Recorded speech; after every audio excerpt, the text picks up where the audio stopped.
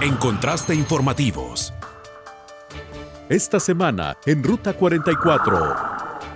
La temporada de estiaje implica severas complicaciones para la autoridad y estragos para la ciudadanía. Una revisión al impacto de la época más calurosa del año y sus consecuencias. El tema de esta semana en Ruta 44.